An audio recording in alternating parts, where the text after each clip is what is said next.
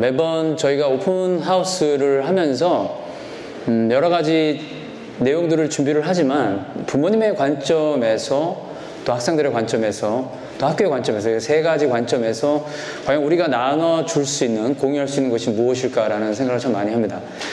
어, 특별히 이런 그 기회를 통해서 어떤 단체가 또는 학교 기관이 학생을 꼭 모집한다라는 그런 포커스보다는 어, 이 기회를 통해서 교육의 정보나 또한 우리 자녀를 이 학교를 뭐 참석 또는 등록 또는 apply를 안 하실지라도 어, 돌아가실 때 그런 유익한 교육에 도움이 될 수 있는 여러 가지 그 관점을 공유하는 것이 저희들의 하나의 또 의무고 또 해야 할 공헌이 아닐까라는 생각에서 저희가 또 준비를 하였고요.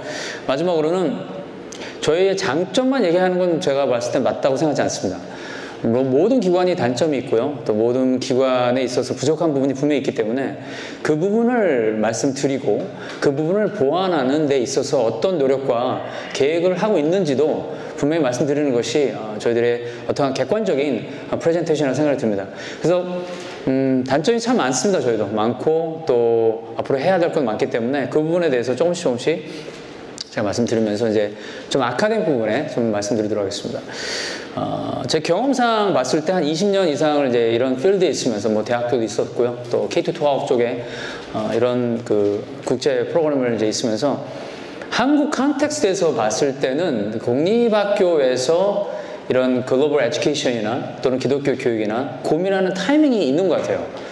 어, 특별히 5학년쯤 됐을 때, 또 사춘기를 들어가는 그런 시즌에, 특히 요즘은 좀 빨라졌잖아요. 아이들이 성장이 빠르다 보니까.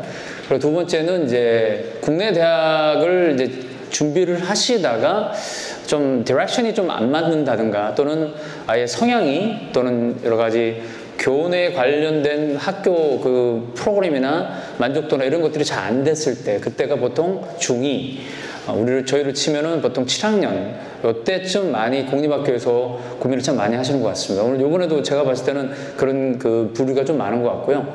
또 하나는 이제 일찌감치 이제 부모님의 그 경험을 통해서 좀 이제 글로벌 에듀케이션이나 또는 여러 가지 초이스들을 좀 많이 경험하고 싶다라고 해서 1학년부터 또는 2학년부터 이렇게 지원하시는 분이 좀 있습니다. 그다음에 세 번째 케이스는 어, 고등학교를 다니시다가 이제 이쪽으로 이제 옮기시는 이런 걸 알아보시는 케이스가 있어요. 그 케이스는 제가 볼 땐 극과 극 같아요. 어, 좀 학교, 공립학교에 좀 적응이 어렵다. 여러 가지 적응이라는 단어가 나쁜 것도 있지만 좋은 것도 있어요. 예를 들어서 뭐 외국에서 오래 살다가 랭귀지 이슈가 나온다든가, 컬처 이슈가 나온다든가, 또는 어떠한 그 관점의 차이, 질문이 많아서 어떤 질문을 했을 때 그것을 감당을 못하는 그런 학교 분위기가 있거든요.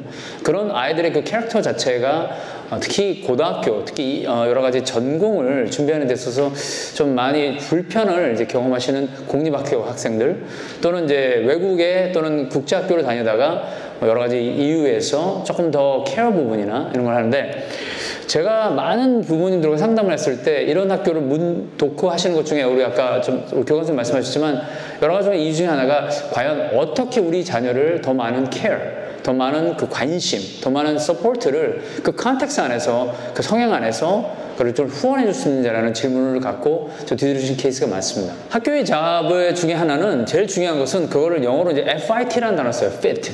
그 fit이라는 것은 음, 공부도 중요할 수 있습니다. 근데 거꾸로 공부를 잘한다라는 것은 여러 가지 동기부여가 만족도가 있다라는 것이죠. 그래서 오늘 부모님뿐만 아니라 학교에서 여러 가지 말씀드렸던 것 중에 우리가 있어요라고 할 수도 있겠지만 우리가 이것을 통해서 아이가 어떤 모티베이션 또한 공동체 소속감 더 나가서 본인이 그것을 장점을 또한 어떤 전문성을 관심 있는 그 필드를 발견할 수 있는 교육의 환경을 만들어주는 그 프로그램이 결과적으로는 학교 프로그램이라고 생각이 듭니다. 이거 보시면 Common Core State Standard라고 하는데 오마 정부 때 이제 조지 부시 정권에서 바뀌면서 교육의 하나의 그 패러다임이 바뀌었어요. 그것이 하나가 바로 어, 50주에서 지금 현재 41주가 Common Core State Standard라고 영어, 수학을 공통적으로 kinder부터 8학년까지 정확히 말씀드리면 유치원부터 중학교까지 통합을 시켰습니다. 옛날에는 이것이 각 주마다 영어, 수학도 다 textbook이 달랐어요. 여기에 큰 장점이라고 할 수 있던 것은 사고력, critical thinking skill, 그 다음에 communication, 그 다음에 collaboration, 그 다음에 이제 그것을 어떻게 더 할 건지에 대한 creativity 자체를 이제 강조를 해서 4C 이런 이런 C를 이제 중심으로 해서 교육을 강조를 하는데 그 중에 그것이 나중에 최종 목표는 결국은 이제 standard test로 연결이 되면서 대학과 대학과 연결이 된다는 것이 이 Common Core State Standard의 가장 핵심 포인트입니다. 어, 애플리케이션 시즌이에요. 11월 1일 날 Early Decision이라고 Early Decision은 결과적으로 이제 조기 전형이라는 단어입니다. 대학에 이제 지, 진학을 할 때 대학들은 여러 가지 요구를 합니다. 그 중에 하나가 바로 학교 성적표는 기본적으로 요구를 하고요. 두 번째가 바로 standard test를 이제 요구를 하죠. 공인 인증시 뭐 수능이나 뭐 저희가 말하는 SAT 또는 TOEFL, SAT, 뭐 심지어 IELTS라는 영국 프로그램, 뭐 요즘은 뭐 드라는 건뭐 약간 좀 TOEFL 바로 밑에 있는 건데 토익은 요구를 하진 않습니다. 그런 것들을 학교마다 요구를 하는데 왜 요구를 하냐면 학교의 전체적인 커리큘럼을 이제 보는 것을 가장 먼저 봐요. 그래서 이 학교가 무슨 어디 이 기관에 인증돼 있냐면 그것도 중요할 수 있어요. 근데 뭐 homeschooler들도 있고요. 온라인으로 하는 학생들도 있고요. 이번에 코로나 때 홈스쿨링 independent study 하는 그 그룹 자체가 너무 많아졌다라고 교육학에서 이제 교육, 어, 발표를 하고 있는데 그 친구들의 모집 요강들도 프린스턴이나 하버드나 다 있어요. 다만 어, 검증할 수 있는 성적표 그것은 바로 그것이 A to G 코스라는 단어를 씁니다. 어, A to G 코스를 지금 보시면 이제 UC 스쿨에 나온 그 대표적인 케이스인데 뭐 UC 스쿨이 강조했다라기보다는 상위 40위권 대학들이라는 그런 그 계층이 있습니다. 저는 이제 랭킹을 별로 이렇게 막 강조하는 스타일이 아닌데 어, 제가 미국에 있을 때 이제 대학교에 대한 내용을 말씀드리면 이제 프레젠테이션을 두 개를 만들었어요. 그게 뭐냐면 Asian 그룹을 하는 케이스, 특히 Chinese and Korean 그룹들, 그 다음에 두 번째는 이제 Western, 특히 이제 White American, 어, upper middle class 쪽에 이제 저희들이 이제 그 포커스를 하고 프레젠테이션 했는데, 어, 랭킹을 강조하는 그룹은 죄송하지만 Asian 그룹이었습니다. 첫 번째, 뭐 특히 중국 대학들, 한번 홍콩 대학들 한번 그 홈페이지에 들어가 보세요. Our school ranking is top 20, 뭐 이런 식으로 나와요. 근데 하버드나 예일이나 또는 이런 Ivy League 같은 데 한번 홈페이지 가보시면 그런 게 없습니다. 대부분의 시작이 mission statement입니다. 교육 철학. 우리의 교육 인재상. 그것이 큰 차이점이었어요. 이게 라이롱은 아닌 것 같고요. 그 사회적 분위기였어요. 문화였어요. 그런데 대학이 봤을 때 과연 이 학교가 이 커리큘럼이 정말 괜찮은지라는 걸 퀘션하는 기준이 하버드나 아이블리그에서 본인들이 어서시에이션에서 그 본인들이 이제 연구를 해서 발표를 했어요. 그것이 holistic review라는 단어를 써서 전인격 교육이라는 단어를 써서 그 기준 안에서 학생들을 뽑고 그러면서 요 A to G 코스를 UC 기업뿐만 아니라 다른 상위권 특히 3,500 대학에서 좋은 대학, good college라는 단어를 썼을 때는 200이라는 단어를 씁니다. 200이면 한 6%, 7% 되거든요. 근데 그 안에는 liberal college, 물론 어, 인문계 쪽도 많아요. 그 안에 대부분이 큰 학교는 많아야 한 12,000, 3,000이 정도밖에 안 됩니다. 그런데 작은 학교들은 보통 6천, 4천 명 정도 되는데 그 학교들은 이제 랭킹 자체는 major가 많지 않기 때문에 낮아요. 보통 뭐 102, 182. 근데 나쁘냐? 절대 그렇지 않습니다. 그 학교일수록 교육, 그 다음에 어, 의예과, 경영학과, mission에 관련된 과들이 잘 돼 있습니다. 다만 엔지니어링 자체는 데 없고요. 이런 학교들은 대부분 이제 사립학교나 또는 공립 state university 자체가 있죠. 미국의 주립 대학들이 설립된 목적은 그 주를 개발하기 위해서 정부에서 많은 지원을 합니다. 그래서 예를 들어서 뭐 오클라호마 같은 좀 죄송하지만 변들이 있는 그런 어, 인구가 많이 없는 그런 어, 주립 대학들은 농업 또는 건축 이런 그런 그 엔지니어링 쪽이 상당히 발전이 돼 있고요. UCLA 같은 경우도 옛날에 한 20년 전만 해도 UC 네이비스라는 학교가 있었어요. 그 주변에 제가 몇 년 그때만 해도 갔었는데 다 목장밖에 없었어요. 근데 지금은 많이 발전이 됐고 어떻게 보면 거기에서 어, 의학과 또는 어, 그, 그 수의과, 수의과 학과가 상당히 높은 학교입니다. 그만큼 이제 발전을 시키는 것이 이제 미국의 주립대학의 이제 목표, 목표죠. 그래서 이제 A to G 코스의 공통점은 아, 첫 번째, 영어 4년입니다. 9, 10, 11, 12죠. 우리나라 치면 이제 중학교 3학년부터 이제 들어가는 거예요. 아마 공립학교 다니신 분이 있을 텐데, 어, 공립학교를 다니다가 미국 대학이나 해외 대학을 못 가냐? 그건 절대로 그렇지 않습니다. 갈 수 있습니다. 어, 정말 말씀드리지만 어느 어크리테이션이 있다고 없다고 해서 못 가지 않습니다. 절대로 그렇지 않아요. 심지어 제가 말씀드린 홈스쿨링들도 가요. 뭐 선교지에 갔는데 저는 어, 캄보디아를 참 많이 갔었거든요. 캄보디아 선교를 가면 선교사님들이 갔을 때 애들 데리고 가잖아요. 그러니까 애들은 끌려간 거예요. 그러면 만족도는 선교사님들이 부모님들이 있지 애들은 별로 없어요. 가서 상담을 해보면 아이들은 계속 상처예요. 그리고 아쉬움이야. 왜? 공부를 잘 했는데 또 불구하고 많은 교육 프로그램을 경험을 하지 못한 거예요. 저는 제 꿈이 있습니다. 저는 이 부분에 대해서 항상 기도하고 근데 제 나중에 이제 은퇴를 하면 저는 온라인 education에 저는 정말 열심히 하고 싶어요. 그 quality of education 자체를 온라인으로 해서 어, 그런 선교지에 가갖고 그 선교사분들의 그 자녀들을 대학을 잘 갈 수 있는 준비 과정, 그걸 초등부터 유치부터 대학교까지 할 수 있는 그런 프로그램들을 잘 해줄 수 있는 온라인의 그 프로그램 이외에 이제 K12 프로그램 자체를 이제 고등학교를 이제 얘기할 때 나는 공립학교를 다니고 있고 나는 뭐 조그만 학교를 다니고 있을 때 그것을 전혀 미국 대학들은 해외 대학들은 보지 않는다는 것입니다. 영어는 4년인데 그 4년도 literature 자체가 문학자가 과연 어떤 레벨에서 했냐는 걸 참 많이 봅니다. 그 중에 하나가 뭐 American literature 또는 브리티시 리터처, 뭐 영국 문학이나 미국 문학이나 이런 것들을 좀 심화된 것들을 이제 보죠. 두 번째 수학입니다. 어젠가 제가 어떤 부모님 상담을 했었는데 우리나라 수학이 미국 수학보다 더, 더 강도 높지 않냐 이런 질문을 해요. 맞을 수 있어요. 하지만 학생 레벨에 따라 그건 좀 다르다고 말씀드렸어요. 왜? 미국의 선행 교육은 9학년부터 시작됩니다. 고등학교 때부터. 그래서 8학년 때 딱 봤을 때 준비 과정을 끝나고 고등학교 때 아이가 선행할 수 있는 그런 레벨이 된다면 대학교 교양 과목의 레벨의 수학, 영어, 과학, 역사, language, foreign language까지 이런 것도 다 할 수 있어요. 그것이 AP라는 Advanced Placement이라는 단어를 씁니다.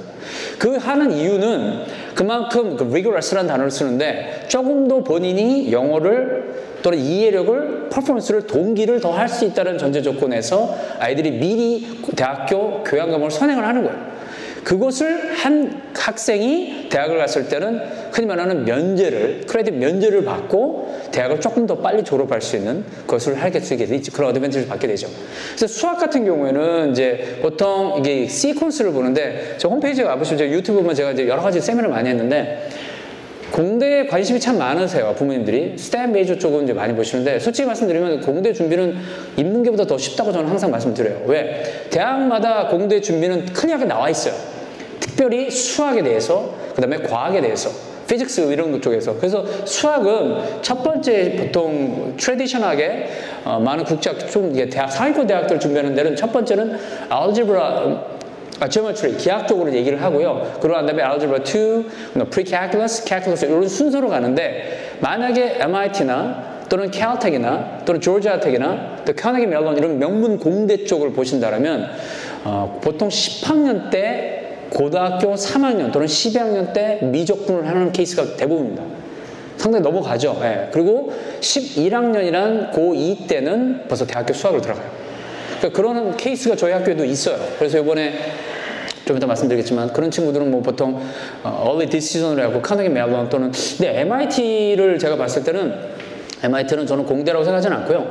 공대 이상이라고 저는 생각을 해요. 그래서 보통 MIT 가는 애들은 다른 과목들도 활동도 참 잘한다라는 것이 전제 조건인 것 같습니다. 그리고 science 같은 경우는 이제 2학년, 2년에서 3년 이렇게 요구를 하되 social study 역사도 2년 3년 이유가 뭐냐면 11학년 때 보통 인문계냐 또는 상경 저기 어, 그 science 그 STEM major냐 이공계냐라고 이제 보통 이게 우리나라 고이라고 얘기를 하지 않습니까? 그맛 비슷한 것 같아요. 하지만 어, 솔직히 말씀드리면 대한, 대한민국은 인문계 이런 것들이 좀 구별이 되기 있지만 어, 미국에 있는 상위권 40위권 대학 안에 들어가려면 어, 인문계든 이공계든 다 필드를 다 잘하셔야 돼요. 그래서 영어도 잘해야 되고 역사도 잘해야 되고 수학도 잘해야 되고 활동도 많이 하는 것이 40위권 대학 안에 있는 대학들이 요구하는 것들이라고 생각이 들어요. 특별히 academic은 기본이라고 얘기를 하면서 EC라는 extra curriculum 자체를 상당히 많이 보죠. 그거에 대해서는 제가 구체적으로 말씀드리겠습니다. 그래서 포인트는 뭐냐면 우리 애가 지금 현재 작은 학교, 큰 학교, 공립학교, 홈스쿨을 이런 거를 상황을 본다? 그건 it doesn't matter. 필요 없다는 거예요. 가장 중요한 거는 어떤 커리큘럼에서 이런 것을 충족하면서 standard test를 하시고 활동과 에세이와 이런 것들이 잘 충족이 됐다라면 그런 대학 진로에 있어서 전혀 문제가 없다는 것입니다. 어크리테이션이 있다. 그러면 대학이 봤을 때 이 친구는 그런 시스템에 있는 학교에 있었구나. 라고 하면서 두 번째 단계로 넘어가요. 쉽게. 하지만 그것이 개런티가 있다라는 것은 대학의 성적을 통해서 볼 수 있다는 거죠. 어, 이렇게 생각하시면 될 것 같아요. 학교 성적은 되게 좋아요. 4.0 만점에 뭐 3.9예요. 근데 SAT 또는 토플 시험은 1000, 어, 1600 만점에 뭐 1000점이에요. 이러면 그 학교를 어떻게 볼까요? 상당히 객관성이 떨어진다고 볼 수 있겠죠. 수, 수능도 마찬가지 않습니까? 평점 뭐 본인 1등급인데 수능 점수는 너무 낮다. 그러면 그 학교 레벨은 조금 낮다라고 볼 수 있다는 거죠. 그러니까 그런 holistic한 것을 여러 가지를 볼 수 있다는 것이 초점이면서 여기 보시면 맨 마지막에 foreign language라고 있죠. 이것은 이제 보통 언어 제2외국어인데 어, 저희 같은 경우는 이제 중국어를 하죠. 보통 대부분이 한국 근데 미국 같은 경우 Spanish나 또는 서반어나 또는 이제 어, Chinese나 뭐 여러 가지 French나 이런 거 여러 가지 하는데 기본이 2년을 요구를 하면서 3년 3년은 이제 보통 recommend라는 단어를 써요. 근데 저는 이제 20, 한 2, 3년 정도 이제 college counsel 하면서 보통 대학이 option이라는 단어를 썼을 때 또는 recommend라는 했을 때 그 무조건 하라라고 제가 항상 말씀드려요. 그거는 제가 봤을 때는 경쟁에 있어서는 더 많이 하는 것이 좋다라고 얘기하기 때문에 3년 정도, 그다음 social studies나 science도 3년 정도, 마지막으로는 리서치입니다. 아, 요즘은 이제 아시안들이 수학을 너무 잘하기 때문에 수학은 기본이라고 많이 봐요. 그래서 수학 이외의 것들 중에 하나가 바로 영어입니다. SAT의 레벨은 영어 같은 경우는 11학년 2학기 레벨로 나온다고 그러고요. 수학은 10학년 2학기 레벨로 나온다고 그래요. 그래서 보통 SAT를 준비를 할 때 어, 토플은 SAT보다 정말 쉬운 시험이고요. 토플에 120 만점에 84점을 보통 요구를 하는데 상위권 대학들, 40위권 대학들은 기본이 100점 이상이에요. 그렇기 때문에 토플은 그렇게 썩 개런티를 하진 않아요. 하지만 SAT 점수를 수능을 보는데 리서치 부분에 있어서 라이팅에 있어서 논문에 있어서 그것을 얼마큼 했냐. 아, 올해 2023년도 졸업생은 조금 더 다양할 것 같다는 생각이 들고요. 미국과 홍콩을 가장 많이 갔던 것 같습니다. 지금까지는. 어, 뭐 예를 들어서 지금 NYU, 라체, University of Rochester, Berkeley. 지난 3, 4년은 계속 전 UC Berkeley는 계속 들어갔던 것 같아요. 근데 제 기준으로 봤을 때 LA, UCLA가 조금 더 아카데믹을 좀 더 보는 것 같고 요번에는 LA 들어갈 수 있는 애가 있지 않을까라고 좀 기도를 하고 기대를 하고 있습니다. 근데 NY 같은 경우, 그 다음에 NY 같은 경우는 전액 장학금 받고 들어갔습니다. 요 케이스는 어, 되게 운이, 운이 있었던 것 같아요. 제가 봤을 때는. 그래서 거의 한 대략 1억 정도 매년 받았고, NYU가 가보신 분 있지만, 여기 다운타운에 있어요. 제가 뉴욕, 아, 맨하탄에 있습니다. 학교가. 되게, 학교가 뭐랄까, 도시형의 학교죠. 여기 가장 유명한 학교과 중에 하나가 바로 film major입니다. 그러니까 동부와 서부에 있어서 film major, 그 영화 메이저 가장 유명한 학교는 바로 NYU고, 서부는 USC입니다. 뭐 스티븐 스필버그 나왔고 조지 루카스 나왔던 그런 학교가 바로 US죠. 그래서 그런 학교들 들어간다는 게 솔직히 쉽지는 않고요. 어, 포트폴리오 자체가 지금은 예체능과 이공계와 인문계까지 확장이 됐어요, 벌써. 그래서 모든 것들이 디지털로 연관이 다 돼 있고 구글 드라이브로 링크로 다 연관이 돼 있어요. 그래서 제가 애들한테 계속 이제 격려를 뭐 어떻게 하냐면 과학 경시대회도 온라인으로 바뀌었죠. SAT도 내년 3월부터 온라인으로 바뀌어요. 토플은 바뀐 지 20년 넘었습니다. 그 다음에 수학 경시대회도 AMC라는 미국 수학 경시대회도 온라인으로 다 바뀌었어요.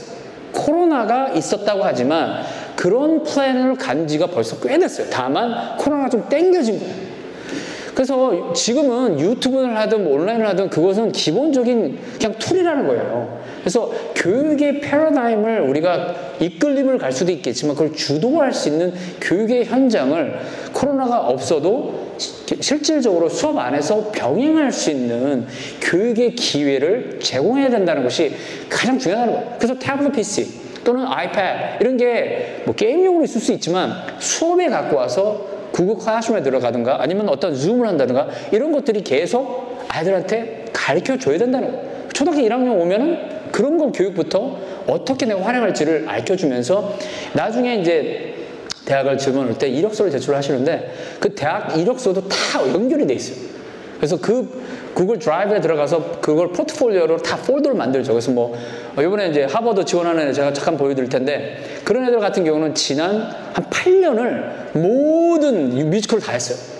그리고서 그 필름에 링크를 다 달고 자기가 역할, 어떤 공헌, 이랬던 것까지 다 설명을 하죠. 이 친구도 똑같았어요. 그래서 그런 것들을 통해서 대학들이 아, 이 친구는 얘는 1600 만 점에 1460점 뭐 잘한 거였죠. 그 정도인데도 불구하고 전액 장학금을 받고 들어갔었습니다. 저는 이게 대학을 지도하면서 국내 대학하고는 좀 달라요. 제가 봤을 땐 국내 대학이나 홍콩 대학은 넘버 드리븐입니다. 상당히 점수 중심으로 랭킹 중심으로 준비를 하면 돼요. 그래서 저는 더 쉽다고 말씀드려요. 솔직히 국내 대학이나 또 아시아권 대학들은 더 쉬워요 준비가. 이번에 일본 대학을 이제 지원하는 애가 있는데 뭐 제가 봤을 때는 그렇게 어렵진 않은 것 같아요. 근데 미국이나 특히 상위권 대학들은 하, 이건 진짜 너무너무 준비를 많이 해야 되는 그런 준비들이 많습니다. 여기도 전액 장학금을 받았고요. 브랜다이스 이거는 이제 유대인 학교입니다. 여기는 한 6천 명밖에 되지 않는 어, 매사추세츠 있는 학교인데 어, 여기도 정말 장학금 많이 주고 여기 한 40위권 정도 되는 학교고 특별히 이제 이런 그 인문계 쪽이 잘 된 의학과 쪽이 잘 된 그런 학교입니다. 그다음 UC 버클리 같은 케이스도 좀 잘 돼 있죠. 지난 3년 정도 됐다는 걸 말씀드리고 그래서 저희 학교 뭐 여러 가지 이제 학교를 학교였는데 저는 음. 학교 대학을 합격하고 난 다음에 홈페이지나 이런 거에 아이들 얼굴 올려놓고 광고하는 걸 저는 그렇게 속 좋아하는 스타일이 아닙니다. 그건 맞지 않다고 생각하고요. 어, 교육가로서 어, 저희 해야 할 도리라고 생각하고 그 결과에 대한 그 감사와 격려 뭐 그 정도는 얘기할 수 있을 것 같아요. 그리고 뭐 장학금 굳이 얘기한다면 할 수 있지만 어, 뭐 서울 외국인 학교나 뭐 그런데 한번 가보시면 애들 홈페이지 올려놓고 막 우리 학교 어디 갔다 그런 거 없습니다. 그냥 A to G 해로 해서 우리는 어디 어디 갔습니다라고 얘기를 하죠. 그것이 저는 교육을 하는 사람으로서 그것이 우리의 뭐 의무고 해야 할 책무라고 저는 생각합니다. 그래서 이제 이런 학교들 쭉 갔습니다. 뭐 많이 아시는 대학들이에요. 그래서 뭐 UC 계열도 많이 갔고 NY도 갔고 뭐 이런 갔는데 아마도 금년은 조금 더 다양하게 예능 쪽도 특히 아, 미대 쪽이나 그다음에 아, 송도에 있는 학교도 이번에 보낼 저희가 계획이 있고요. 그다음에 이제 뭐 더 나가서는 뭐 바이올로지나 뭐 이런 쪽도 가면서 일본도 이제 준비를 하고 있습니다, 제가. 그래서 결과가 아마 내년 3월이면 많이 발표될 것 같고, 뭐, 감, 뭐 기도는 이번에 하버드나 캐나기 멜론도 합격했으면 좋겠어요. 근데 좀 쉽지는 않을 것 같아요, 하버드 같은 경우는.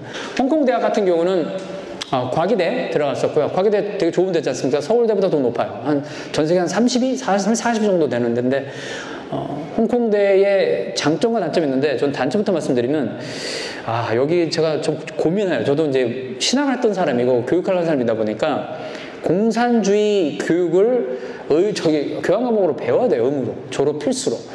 아 이게 저는 제 딜레마예요. 솔직히 말씀드리면.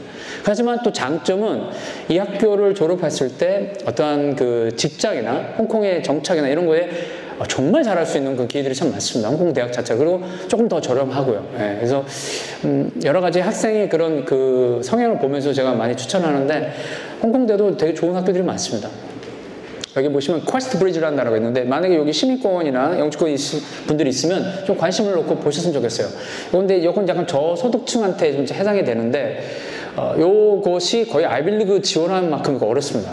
요것을 합격을 하시면 보통 이 QuestBridge 자체의 대학교에다가 이에다가 학교 profile까지 다 넣, 이력서까지 다 넣어야 돼요.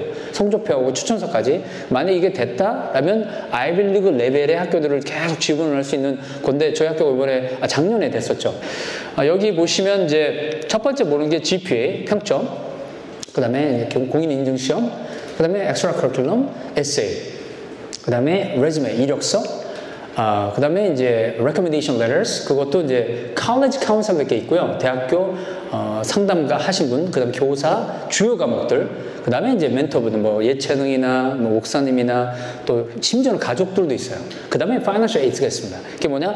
경제 보조 후원 관련된 거. 유학생 같은 경우에는 어, 수능 관점이라면 SAT를 했으면 미국 시민권 영주권자하고 동등하게 모든 학교에서 장학금을 줍니다. 얼마큼? top 60%까지 50에서 60%까지 받아요. 만약에 UC 계열에 한 8만 불까지 됐다. 근데 주립대는 거의 안 줘요. 이유는 주립대는 대부분이 어, 내부 미국 학생 중심으로 들어가다 보니까 외국인을 뽑아도 학부는 장학금을 덜 주지만 대학원부터는 많이 줘요. 특히 STEM major 쪽에서는 그 다음에 박사과정 쪽에서는 어마어마하게 줍니다. 거의 풀스가 주는 케이스도 많고요. 저는 보통 제가 미국에 있을 때 학부도 많이 컨설팅을 해줬지만 대학원을 정말 많이 해줬어요. 그리고 박사, 저는 박사과정 쪽에 있었기 때문에 그쪽으로 주는데 오히려 대학원 박사과정 들어가는 게 더 수월해요. 더 수월해요. 준비 자체가. 하지만 학부 중심을 얘기를 한 이유는 대부분이 학부부터 공부를 하는 아이들이 대부분 writing이나 스피치나 이런 그 academic 부분이 준비가 대학원이나 대학원까지 박사까지 가는데 큰 파운데이션 만들어 줄 수 있다는 것입니다. 그래서 미국 안에서는 이렇게 얘기합니다. 보통 국내선 탈 때 영어로 domestic, domestic이라는 단어 쓰지 않습니까? 그거를 terminology인데 the domesticated이라는 단어를 써요. 아예 명칭을 써요. 그래서 이 친구는 국제학교를 나왔는데 영어권이다? 그럼 또 he's a domesticated person 이렇게 얘기를 해요. 유학생인데도 불구하고 그런 categorize를 아예 만들어요. 그런 케이스에 financial aid를 주는데 SAT는 옵션입니다. 유학생한테 있어서는 토플은 의무예요. 자 다시 한 번 말씀드릴게요. SAT가 옵션이에요. 토플이 옵션이라고 홈, 홈페이지는 나오지만 정작 유학생들은 GPA 평점과 함께 스탠드 테스트는 의무로 다 발표가 돼 있습니다. 하지만 그 중에 학교들이 상위 60위권 바깥의 학교들은 옵션이라고 얘기를 해요. 지금까지는 2023년까지는. 하지만 토플을 내지 말라는 얘기는 없습니다. SAT를 내지 말라는 건 없어요. 그래서 그 내지 말라는 것은 없기 때문에 준비를 해서 낼 경우에는 더 많은 아카데믹 장학금을 받을 수 있는 기회를 누릴 수 있다는 것입니다. 저는 이제 도움보다도 가장 중요한 것은 대학을 갔을 때 아이들 실력으로 좀 봐요. 대학을 가면 너무 많이 하는 게 사지선당이 아니에요. 대부분이 발표고, 글 쓰고, 논쟁하고, 컨퍼런스 가고, 이런 거지. 우리나라처럼 대학, 죄송하지만 대학에 공부를, 전부 대학, 한국 대학 얼마큼 공부할지 모르겠지만 미국 대학은 너무 많이 해야 돼요. 그것을 위해서라도 저는 academic 부분에 특히 standard test를 하라고 제가 얘기를 합니다. 예, 더 많은 준비를 하라. 이 학생은 이제 UC 계열을 다 합격했었고 보스턴 대학 어, 합격 비즈니스로 이제 했죠. 들어갔죠. 그래서 이제 unweighted, weighted가 있는데 쉽게 말씀드리면 AP라는 과목 또는 어떤 honors라고 좀 약간 좀 무게저가 좀, 좀 어, 선행이 되지 않은 일반 과목을 얘기를 해요. 그러니까 성적표를 보면 전 솔직히 말씀드리면 어느 학교를 다니시잖아요. 그럼 저한테 만약에 성적 저희 학교 성적을 주시면 그 학교 레벨을 제가 볼 수 있어요. 뭐 아까 말씀드린 주요 과목 A to G 코र्스부터 보고 그 다음에 아카데믹이 어느 부분에 포커스가 됐는지 그걸 이제 대학교 관점에서 이제 보는 거죠. 그러면서 아 이 친구는 뭐 아너스나 또는 AP 과목이 안 돼 있다라면 기본적으로 그 가볍다 unweighted라는 코스로 4.0 만점 기준으로 이제 가는 거예요. 그런데 그거를 조금 더 할 수는 있어요. 좀 더 추가로. 그 다음에 이제 weighted라는 것은 AP 과정이나 또는 어떤 대학교 프로그램이나 심지어는 아너스 프로그램이라고 조금 선행을 했던 학생들은 뭐 4, 저희 기준 같은 경우는 아너스는 4.5 기준 만점, 그 다음에 5.0 만점은 이제 AP 과정으로 되는데 그렇게 해서 이제 제출을 대학을 해요. 그리고 이제 SAT 시험 같은 경우는 영어 수학을 하죠. 슈퍼 스코어라는 게 뭐냐면 보통 하버드나 이런 아이빌리그는 권장을 보통 SAT 시험을 한 번 또는 두 번 보라고 얘기를 해요. 많이 보지 말라고 얘기해요. 언제? 10이라는 때 얘기를 합니다. 근데 그 대부분 그렇게 안 돼요. 애들이 다 아이빌리그 가는 게 우리나라 뭐 서울대 스카이대학 가는 게 아니잖아요. 다 중, 중위권 애들이 되게 많습니다. 그래서 저는 항상 좋은 교사는 A급 애들을 A 프로만 쓰는 게 아니라고 얘기를 해요.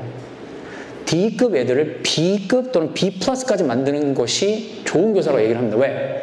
그 과정이 쉽지 않기 때문이라는 것입니다. 많은 노력, 멘토십, 관계, 격려 이런 것들이 어마어마하게 들어요. 저 어제 새벽 2시에 잤거든요. 이게 자랑하는 게 아니라 지금 저희 학교 에세이들을 우선 선생뿐만 아니라 저도 계속 보고 있어요. 대학교 에세이. 심지어는 지금 한 명당 거의 15개, 20개씩 넣어요. 졸업생이 거의 8명인데 몇 개예요? 그럼 100몇 개예요. 그거를 봐준다라는 게 쉽지 않습니다. 저희가 무슨 돈 charge하는 것도 아니고 진짜 사명으로 하는 건데 그걸 보면서 매번 아이들한테 이런 얘기를 해줘요. 너 대학을 갔을 때 이 상황에서 어떻게 되는지에 대해서 내용을 얘기를 해줘요. 제 결론은 이겁니다. 우리 여기 왔던 우리 중학생들 한번 생각을 해봐요. 코로나 때 어땠어요? 학교 못 갔을 때. It's very good, important challenge question. 이슈가 뭔지 아세요? 자기 관리 부족이었습니다. 똑같은 온라인에 들어왔을 때 주어진 시간에 핸드폰으로 게임을 한다든가 그냥 대충 참여한다든가 부모의 잔소리로 인해서 pretending 척하는 애들 하지만 그런 와중에도 자기 관리를 하고 노력을 했던 애들이 그런 아이들 그나마 낫다라는 것이죠. 근데 그게 코로나만 될까요? 아니에요. 우리 삶 자체는 문제투성이에요.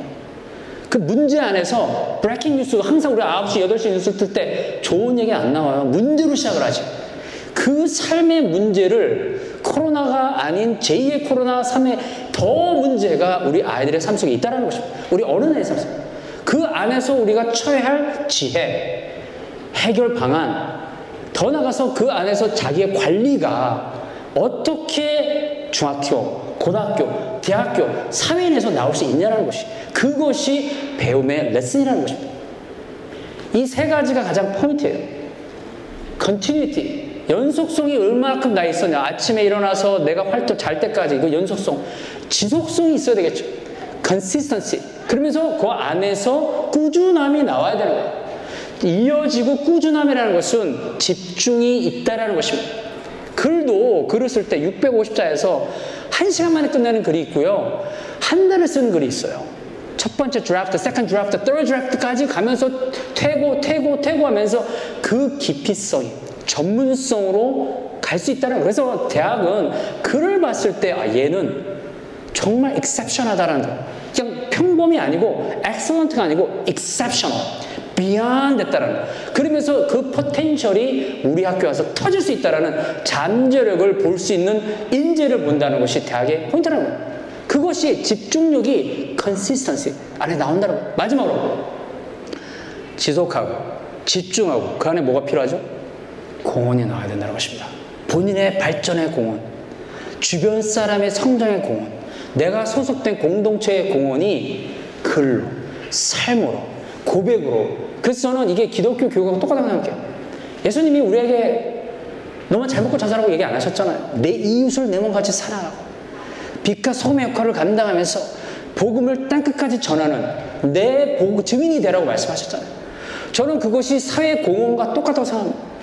그런 기독교 마인드가 신앙과 영성의 이 교육 태도 안에 있음으로써 인재와 함께 리더십이 크리스천 리더십으로 발전할 수 있는 그것이 바로 holi, holistic 전인격 교육 기독교 교육이를 저는 말씀드리고 있습니다. 기독교 교육의 holistic education의 이론이 너무 많아요. 정말 많습니다. 저는 정말 그 부분에 공부 많이 하는 사람인데 성경만 얘기한다라고 좋은 게 아니고요.